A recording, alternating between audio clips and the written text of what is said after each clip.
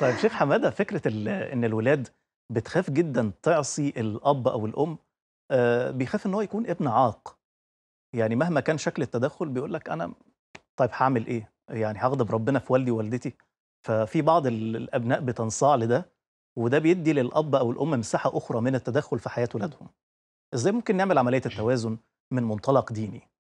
بسم الله والصلاة والسلام على سيدنا رسول الله صلى الله عليه. وسلم وبعد.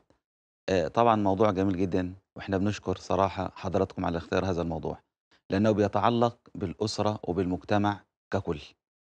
آآ طبعًا إحنا بنقول لابد إن يكون في توازن يا أستاذ هشام. نعم. آآ الآباء ليهم حقوق على الأبناء، والأبناء ليهم حقوق على الآباء. هل هي واضحة؟ في أ ما بينهم حدود فاصلة؟ آآ طبعًا واضحة جدًا، آه. و واضحة. الإسلام آآ بيّن هذا بالتفصيل، والنبي صلى الله عليه وسلم. لمّا بيقول في الأبناء يعني لاعبوهم لسبع، وأدِّبوهم لسبع، وصاحبوهم لسبع. يعني من سنة أولى، من أول سنة لغاية 7 سنين دي اللعب. يعني طبعًا إيه، ما فيش عقاب، ما. فيش ضرب، ما فيش إيذاء، ما فيش طبعًا شَخْط ولا نَطْر والكلام ده. ومن 7 ل14 التأديب، علِّموا أبناءكم الصلاة وهم أبناء 7. ي بدأنا سِن الإيه، آآ الأدب، ده حلال، ده حرام، ده صح، ده غلط. إمم. من 14 بقى سِن ال الحالة الحرجة والسِن الحرج ده ال المراهقة، نبتدي بقى إن إحنا نصاحب ولادنا، إن كبر ابنك خويه. آه. وطبعًا ال ال آآ ربنا سبحانه وتعالى بيّن 5 حقوق مهمة جدًا للآباء على الأبناء، وأتمنى إن إحنا كمجتمع نحفظها أو نعرفها. 5 حقوق مهمة جدًا، جدًا. إمم. الحق الأول الإحسان في القول وفي الفعل. وقضى ربك ألا تعبدوا إلا إياه وبالوالدين إحسانا. الحق التاني للآباء على الأبناء التواضع والدعاء. واخفض لهما جناح الذل من من الرحمة،. وقل رب ارحمهما كما ربياني صغيرًا. شوف سيدنا.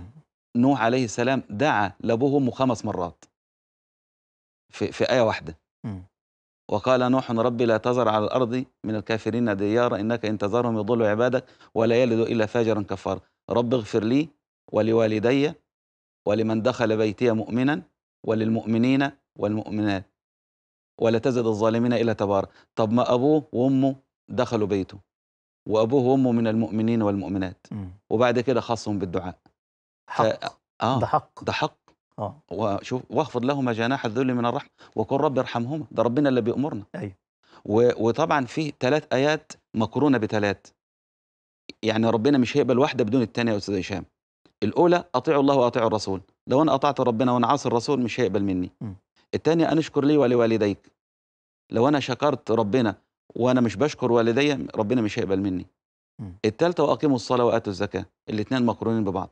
نرجع بقى لل5 رقم 3 اللي هو يعني دي دخلت في أركان الإسلام كده. طبعًا. آه. آآ يبقى إحنا قُلنا رقم 1 من حقوق الأبناء الإحسان في القول والفعل، 2 التواضع والدعاء. 3 صلة الأرحام. صلة الرحم بتاع آآ والدي، صلة رحم أمي. ولما طبعًا والنبي صلى الله عليه وسلم لمّا واحد بيسأله: "هل بقي علي من حقوق والدي علي بعد موتهما؟" قال: "صلة رحمهما التي لا توصل إلا بهما." إمم. 2 من الحاجات برضه تنفيذ الوصية بتاعتهم. يعني والدي أمرني بوصية، ما أيوه. دام الوصية دي لا تتعارض في الدين يجب إن أنا أنفذها. وبعد كده آخر حاجة الإنفاق عليهما.